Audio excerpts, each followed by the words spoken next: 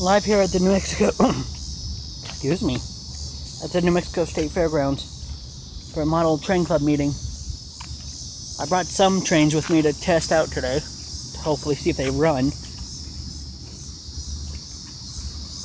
And then I'll be live in Belen next Monday, or this coming Monday, the 8th, 7th and 8th. I leave the 8th from Belen for Santa Fe, and then I'll stay up Santa Fe for the day till 1, and then come home at, leave there at 1 o'clock and come back to downtown Albuquerque at 2. So hopefully I'll be able to stream some of the times from the train, going up to Belen and maybe coming back. I don't know. But hopefully I can looking I'm excited for it, but yeah.